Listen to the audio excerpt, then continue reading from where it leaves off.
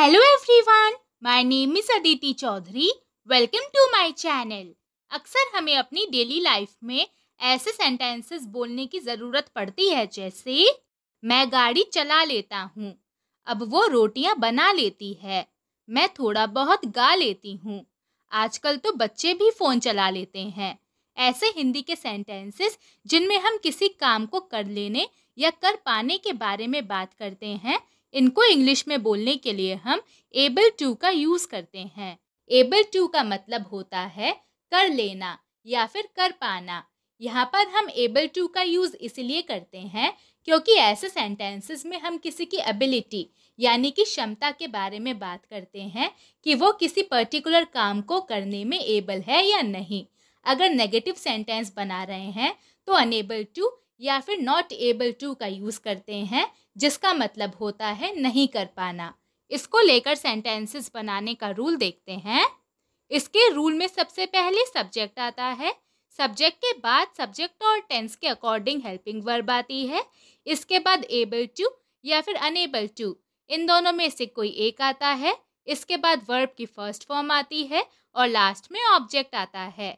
चलिए अब कुछ एग्जाम्पल्स देखते हैं, जिससे आपको इसका मतलब पूरी तरह से समझ में आ जाए। मैं गाड़ी चला लेता हूँ या फिर मैं गाड़ी चला पाता हूँ।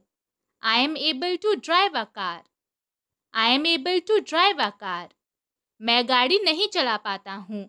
I am unable to drive a car या फिर I am not able to drive a car अब वो रोटियाँ बना लेती है। Now she is able to make chapatis now she is able to make chapatis मैं थोड़ा बहुत गा लेती हूँ।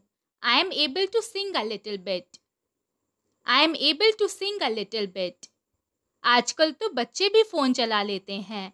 Nowadays children are also able to operate mobiles nowadays children are also able to operate mobiles दादी अब चल फिर नहीं पाती हैं।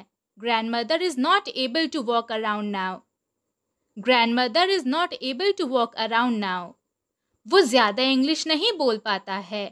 He is unable to speak much English या फिर he is not able to speak much English वो ज़्यादा सर्दी नहीं झेल पाती थी. She was unable to handle the extreme cold या फिर she was not able to handle the extreme cold क्या तुम इंग्लिश बोल लेते हो? Are you able to speak English are you able to speak English क्या वो खाना नहीं बना पाती थी? Was she unable to cook food या फिर was she not able to cook food अब एक सेंटेंस आपके लिए मैं बाइक चला लेता हूँ और मैं बाइक नहीं चला पाता हूँ। इन दोनों ही सेंटेंसेस को हम एबल टू और अनेबल टू को यूज़ करके कैसे ट्रांसलेट करेंगे इंग्लिश में, यह आप मुझे कमेंट्स में बताइए। आज की वीडियो में इतना ही। अगर आपने इससे कुछ सीखा है तो प्लीज़ इसे लाइक कीजिए। मेरे चैनल को सब्सक्राइब कीजिए and make sure you press the bell icon right next to the subscribe button so that you get notified whenever I post new videos अब हम मिलेंगे नए वीडियो में एक नए लेसन के साथ। तब तक के लिए टेक केयर बाय बाय